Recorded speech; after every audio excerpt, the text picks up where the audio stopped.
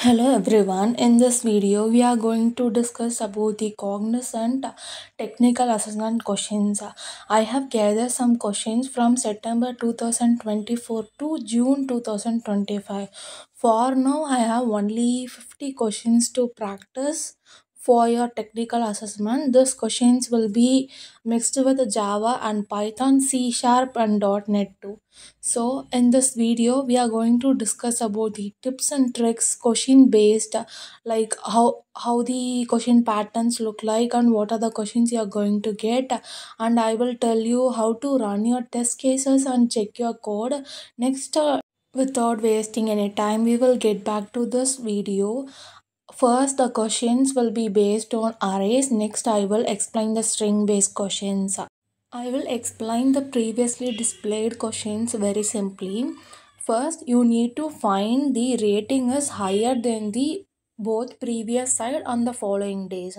For example, first look at the array first array which contains 1, 3, 2 which means in the first day it is rated as 1, in the second day it is rated as 3 and the last day it is rated as 2. So the day 2 rating is in a peak and next coming to the second array if you see that array contains 5 4 3 there is no higher rating after the first day and next coming to the third array you can see that 1 2 3 2 1 there is an peak at the day 3 this is a problem understanding of this question. We will see the approach of this question. If we see the approach of this problem first you have to iterate an array from index 1 to the second last index. If you have problems like if you think about why we are taking an uh, index 1 like if you take index 0 it doesn't have any neighbor neighbor element from the left side. So we are taking from the index 1 to second last index. We are also not taking the last index because it is also not having neighbor element. For each day we have to check it is greater than both previous and the next days. Based on the result we have to count this element. If you look at this dry run you will able to understand this problems.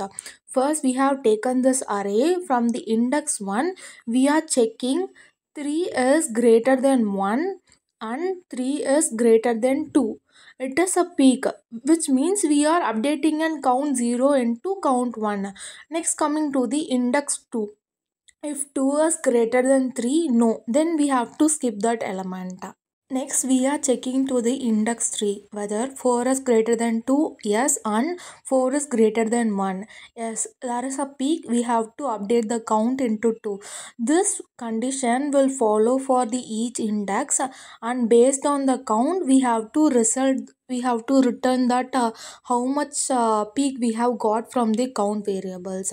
If you look at this python solutions you can understand. Input 1 indicates like how much element are present in an array and input 2 is an array. We have to declare the variable count n is stored in the input 1 if n is less than 3 for example if an array contains only a two, two element in an array we cannot find a previous element and compare to the next element. So if array contains only two element we have to return 0 and in a for loop we are checking whether the given array is greater than the previous element and next element. Based on the peak we will return the number of count. I have given solution in java 2 you can look the dry run and you can able to understand this program. Next we will look into the next question which is a string based question let me read this questions. You are given an integer k denoting substring length and two string s1 and s2. You have to generate all unique substring of length k from s1 and count how many also appear for s2. Your task is to find and return an integer value representing the count of such common string. This is a very easy program. I will help you to understand this easily. Let us first understand this problem. We have to generate an unique substring of given length k from S1. For example, if they are given k equal to 2 from S1 and S2, we have to take only two letters from S1 and S2 and we have to generate an common substring that exists in two elements and we have to return that count. I will uh, explain you with an example. Let us understand this problem with a dry run. For example, if they given k equal to 2 and s1 the string and s2 equal to some kind of string, we have to generate substrings from s1 for the length 2. Just take the two letters from the string like a, b, b, c, c, d and d, e and we are set uh, we are storing in a set a, B, B, C, C, D and D, E. Next, check with the substring exists in S2. S2 is equal to C, D, F, G. If AB is present in S2, no. Is BC is present in S2, no. Is CD is present in S2 as it is present. Is DE is present in S2 as it is present. Based on this comparison, we have to return two common substring count. So this is very easy example I will explain you with on Python and Java code. Let us look at into the code. First the function definitions with k which is a number of a length to the string s1 and s2 the unique substring that are stored in a set so set doesn't allow duplicate so that's why we are using set. And n1 is uh, setting into length of s1 if k is greater than n1 we have to return the 0 and from the for loop we are adding the substring and we are comparing the s1 and s2 and we are returning the count. Let us understand with the test cases if you look into this test cases the k is equal to 2 and s1 is declared and unique substring from s1 is created with the set functions and we are checking with s2 which is c d f g. And ab is present in s2 no. Bc is present in s2 no. Cd is presented and d is de is presented. So we are returning output is equal to 2 Next, I will display you a Java code. You can understand with the already declared dry run and with this test cases too. If you look into this Java code syntax, this is how your uh, lab is going to show how you should write a code. For example, there is a line which is 11th line. There is throw new expression line you have to comment this line before writing this code because sometimes uh, many students will have faced problems. If you written all your code it shows some error. So that why i'm recommending you to comment this line when you are doing code in java. For any other language there is no such expression will be shown for you. Maybe for c sharp there will be show uh, throw new expression error you can also comment this line and you can write code. Next we will see the next question. Let us understand our next problem. In this problem they are given the formula of create we have to calculate bmi for a given each person. So like uh, they have already given bmi formula like a bmi equal to weight divided by height into 100 then they will allocate some value for a k. We have to check whether the bmi value is less than or equal to k. For example uh, n equal to 5 there are 5 percent their height and weight are given.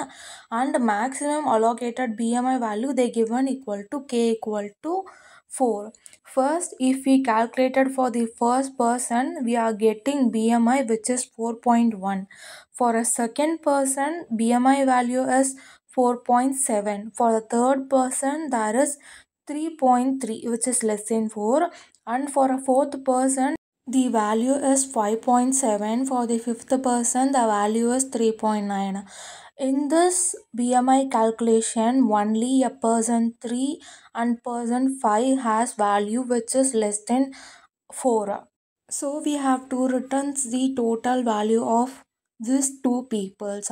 For this, we will look into the Python and Java code. In this Python code, n, height, weight and k values are given in the function. We have to declare count equal to 0. In a for loop, we have to calculate the BMI value of a person. If a count, we will update the count value if BMI is less than or equal to k values.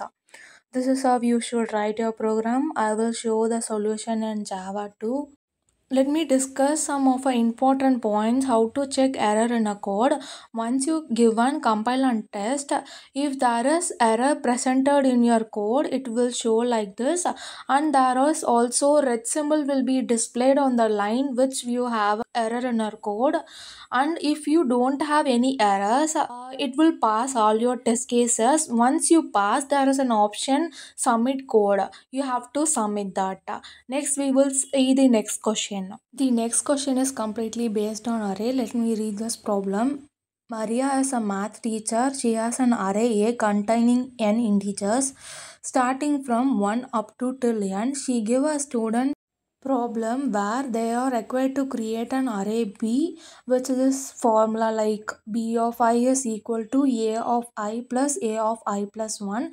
The last number of B should be sum of last and the first element. Don't confuse this problem. I will explain very easily to understand. We have to create an array which is containing 1 to n. We need to create an array B with the formula b of i which is equal to they have already mentioned. For the last element we have to use this formula. Then we need to return the sum of a element in b that is divisible by x. Let me tell you an approach how you should approach this problem let us take this example n is equal to 5 and x is equal to 3. Array A is from 1 to 5. For a B calculation, we have to use this formula A of i plus A of i plus 1. With this formula, we have to create an array B. If you look at this we have already created an array b. In the array b x equal to 3 we have to take the element which is divisible by x3 which is only 3 9 and 6 the sum of these elements is 18 so we have to return the sum. This approach you can easily understand by the Previously, I have explained the example. Next, we will look into the Python and Java solution. This function will take a value of n and x. n is an array length and x is an element which is divided by the uh, created array b. First a we are storing in a list range from 1 to n plus 1. Next we are creating an array b for a loop if n is less than n minus 1 we are appending to this formula. If else we are using this formula. For a total element we are checking whether the given element is divisible by the x given number. If it is divisible we have to find the sum of element and we have to return this totals. For this video i have explained only few of a question. I hope thus you can uh, expert like how much difficulty the question going to be like. If you need more questions to practice i will give one link in a description. You have to download that pdf it will cost only 49 rupees. In that i have created with sql uh, questions with answer and coding question with the answer. Next you should you have questions in html css and javascript too uh, you can download there if you wanted to practice more questions. Uh, if this video is very helpful to you if you need any uh, part 2 videos regarding this you can also comment down. Kindly consider to subscribe because this video took me a lot of time to create. Thanks for watching. Do well in your assessment. If you need any other help join our telegram channel. Thank you